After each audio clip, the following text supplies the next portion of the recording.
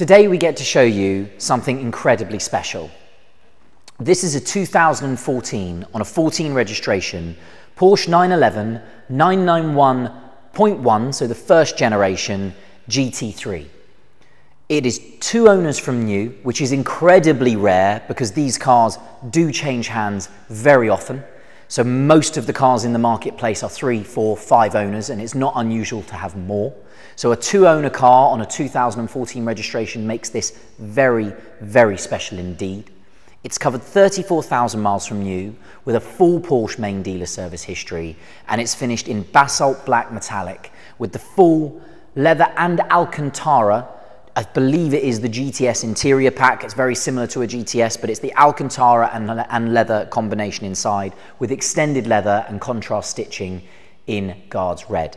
Now, we're going to run you through some of the amazing details of this specific car, but let's hit you with the headline figures. The GT3 is 475 brake horsepower from a normally aspirated 3.8 litre, heavily reworked flat six this car will do that brake horsepower. It will max out at that brake horsepower at 8,250 RPM. So it revs almost like a motorbike. It sings. It's the most beautiful sounding engine when it's on song. And these cars are as pure as they come. A comfort pack car, 18 way adjustable seats as well. We'll show you them when we get round. So a really amazing, usable performance 911. Now we'll start at the front end. We'll show you around some of the features on the car. Obviously, you've got this lovely extra intake or air escape, I suppose, on the nose of the car, signifying that it is a GT car. So most of Porsche's GT cars are fitted with something very similar. These lovely grills as well, they're very different to a standard 911 where a lot of the open, a lot of these uh, lower radiator entries are open. You get these lovely metal mesh grills on the GT cars and this particular GT3 is the same, a really sporty finish and that huge front splitter that sticks out at the front of the car there as well. So there's no way you're ever confusing this with a standard 911. They are totally unique to look at. Darkened headlights, and these are the PDLS headlights. So they have got cornering function on them and the darkened rear insert I think makes a massive difference especially on a black car. Lots of cars you'll see in the market have silver inserts on the inside of the headlights and you see that and for me it ages the car somewhat. I feel the car looks a lot younger, a lot more modern still when the insides of the headlights are darkened. Coming round the passenger side front corner, here's where the car again sort of steps itself away from the other cars in the market. What you are looking at is PCCB, Porsche carbon ceramic braking, a really rare option on the GT3, not so rare on the GT3 RS, I believe it's standard on the GT3 RS, but there are a lot of cars in the market with steel brakes. This is a very expensive cost option and it's a really rare one. Very nice to have it on this particular GT3. This is, I don't know if I should have mentioned it at the beginning, but this is a very high specification example of one of these cars. The lovely GT3 Centerlock alloy wheels, I believe they are lightweight and forged. And then obviously really lovely, again, another differentiation between a standard 911 or Porsche range car and a GT range car all GT cars have GT and their model variant on the center caps.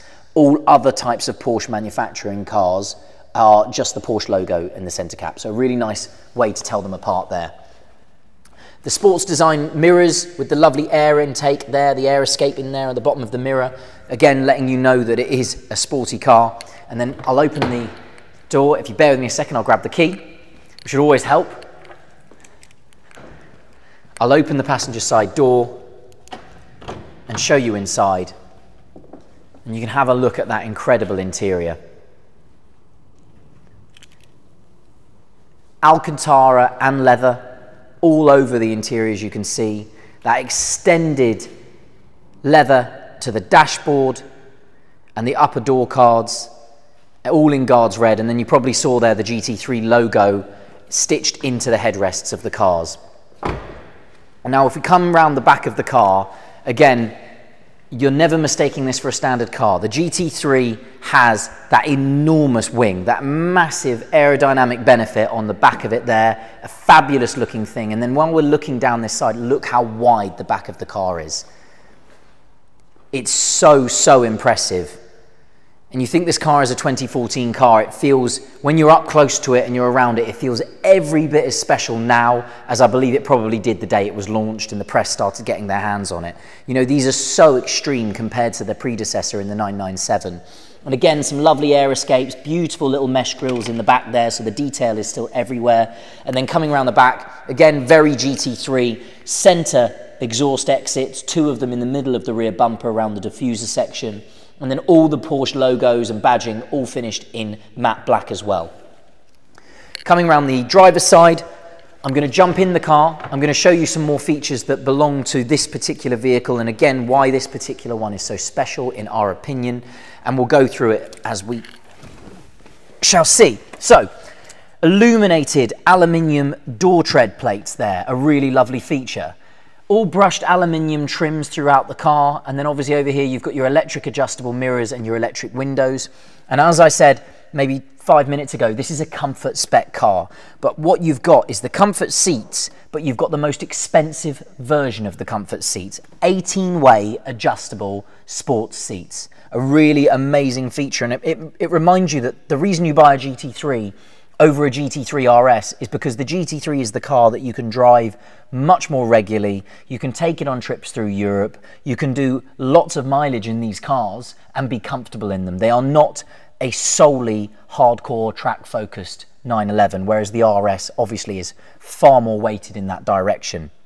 So moving into the cabin, you can see some really lovely things from where you are. So extended leather all across the dashboard, the top of the dash there. You can see all around the speaker grills on top of the dashboard. There's contrast guards red stitching, amazing detail. It even includes the side of the dashboard panel here.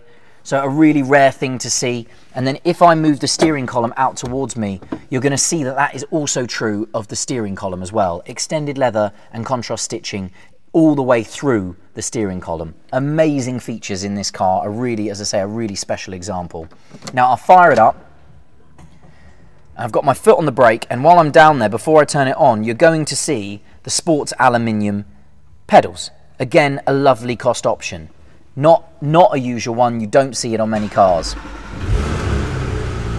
Car fires into life beautifully, as you'd imagine everything idles. And then moving in, you've got this wonderful Alcantara steering wheel. It's the same steering wheel that you get in other 911s, but it's been trimmed to make looks more sporty for the GT3. And you get this lovely little center divide to let you know where the center point is in the steering wheel. Very race car-esque. Down here, you've got cruise control. Again, a lovely feature being that this car is a comfort pack car. It makes a massive difference. And obviously these beautiful paddles on the back of the steering wheel. The center console in front of me, you have all the speedos and everything, all the controls on the right hand side in this little screen here are controlled via this little stick on the side. So you've got all your tire pressure monitoring, your sports chrono lap timer because this car has sports chrono pack plus, your G-force sensors, your torque maps, and then obviously all your oil temperatures and oil pressures. So everything you need to drive one of these vehicles. Moving across the car, as I mentioned, Sports Chrono Pack Plus, lovely there with the clock finished in white, which I think is beautiful. And then coming down to the sat nav screen, full Bluetooth and Bluetooth streaming capabilities, inbuilt navigation with the touchscreen exactly as you would imagine if I go to the map that should pull up, dual zone climate control, heated seats for both the front seats. Again, this is a comfort pack car, really important. The lovely GT3 sports design gear stick, which I think is amazing with these fabulous two lines that sit around the gear tunnel, which I think is a really lovely feature. You don't see that on any other type of Porsche vehicle sports exhaust, the options keep coming, and then the one button below it is extremely important, front lifting system. So if I press this button, you will see the front of the car, it now says front of vehicle raised. It is incredibly fast, it's an amazing system, very Porsche. You need it on speed bumps, you need that in London, anywhere you're driving in town, a really important feature. And I'd probably need the door shut for it to lower the vehicle. So what I'll do is I'll just shut the door. And hopefully if you're looking at it you'll see it now. The front end lowers.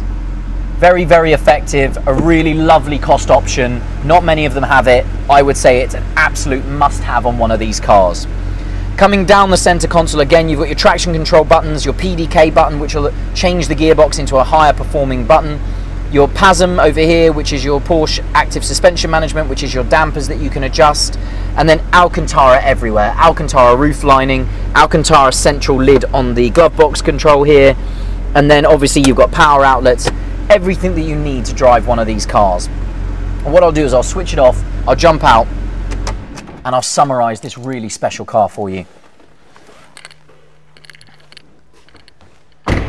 And one thing that we didn't really mention previously is given the wheelbase of the car, it is standard on all 991 GT3s, but they are all fitted with rear axle steering. So these wheels will turn the opposite direction. The rear wheels will turn the opposite direction to the front when you turn into a corner to give the car more stability in high speed and better turning circles and turning angles in low speed. So a pure piece of driving engineering this being the Comfort Pack car with, in my opinion, one of the highest specifications that you can get available in today's market. A very rare two-owner car with a full Porsche main dealer service history. So my name is Matthew. I hope this video has helped. Thank you for watching.